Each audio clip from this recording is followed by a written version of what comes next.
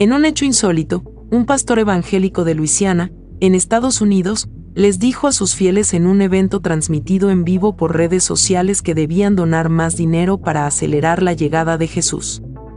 Con desparpajo, el predicador Jesse Duplantis expresó ante los miembros de su iglesia, sinceramente, creo esto, la razón por la que Jesús no ha venido es porque la gente no está dando de la manera que Dios le dijo que dieran, dijo en un video y agregó que, cuando entiendes, puedes acelerar el tiempo.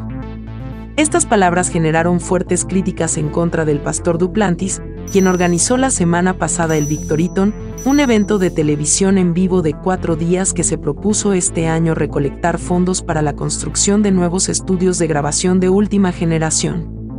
Si la gente llamara a este número y pusiera esta victoria en todo el mundo, cada voz disponible, cada salida disponible, el Padre diría, Jesús, ve a buscarlos.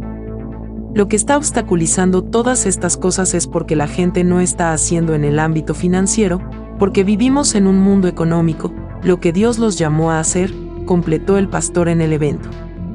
Indignado por esta forma de actuar del pastor contra sus fieles, un usuario de Twitter comentó, Duplantis sabe que Jesús no regresará, pero sabe cómo aprovecharse de la desesperación de la gente.